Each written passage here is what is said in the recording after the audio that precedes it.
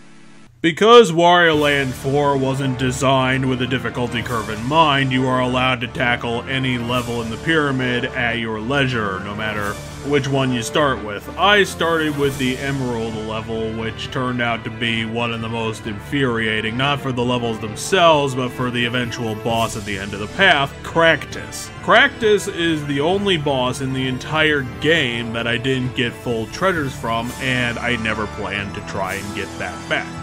And mostly that's because Cractus wasn't exactly designed with the time limit in mind, and he seems to abuse it frequently.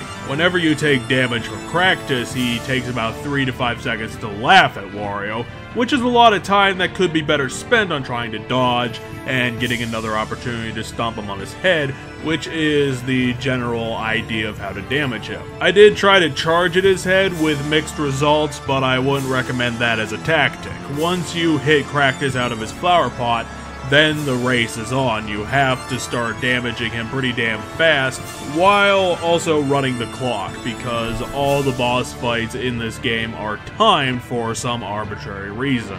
I suppose it's a thing to keep the treasure gathering in mind, since the treasure gathering is also on the time limit, but again, that doesn't really make a lot of sense as a justification for everything being on a time limit, other than adding additional challenge that really didn't need to be there, as long as you correctly design the boss fights to be challenged in of themselves, and you didn't actually need the time limit. Especially when Cractus here, like I said, deliberately abuses the fact that it's on a time limit by wasting time whenever you get hurt. And considering Cractus's overall design and the hitbox it was applied with, that actually happens a pretty damn lot because there's not a lot of places that are totally safe and reliable away from Cractus. You can climb up the vines, but then Cractus will start launching his arms at the vines instead of the ground, and then you got the same problem, but you can't move as much, so it actually ends up being worse off than anything else that you had to hand. Like I said, the basic gist is that you have to jump on Cractus's head. In the first part of the boss fight around full to half health, this isn't actually a problem,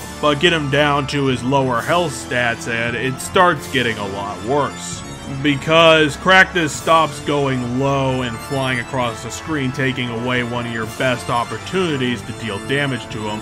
And then you have to sort of jump off of the vines to jump on his head instead. And like I said before, Cractus can easily camp kill you on the vine because you barely have anywhere to move. There's only two vines attached to the ceiling, and every single time that you get hit trying to figure out how to get up to Cractus to hit him in the head, you get a 5 second penalty because Cractus will just fly off screen to laugh at you before coming down and trying the whole thing again. It is a very annoying, very badly designed in favor of the boss a boss fight design. It really is just infuriating, totally unnecessary, and just goes way over the top of trying to make this challenging to the point that it's completely frustrating and makes me hate Cractus as one of the most painful boss fights I've had this entire year, and it's mid-October, so that really is saying something that we're getting out of the video for him now.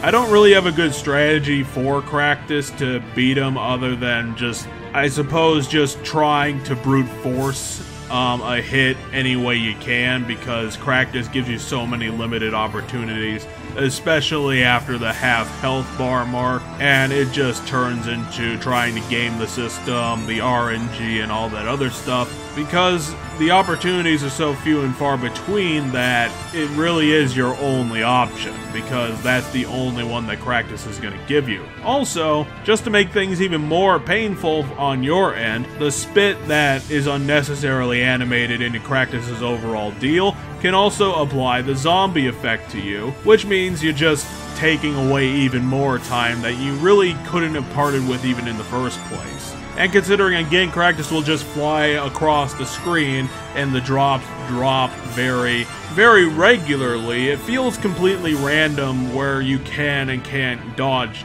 the drops to get away from that whole thing. Because Cractus just moves so fast that you really don't, you can't really interpret through all the visual noise to actually get a reliable dodge going, which again just takes away more time. And then once you start getting down to the lower time limit, you start getting more desperate, you get hit by more attacks, which waste more time, and it just snowballs into itself to the point that Cractus can basically just be expected to be delivered infinite middle fingers into his P.O. box. That is, if he could go claim his P.O. box's contents, being that he's now thankfully dead. And we can move on. Thankfully for us, nothing else in the game really matched the overall annoyance and irritation that Cractus was able to get out of me personally, which is a thankful to God moment for Wario Land 4.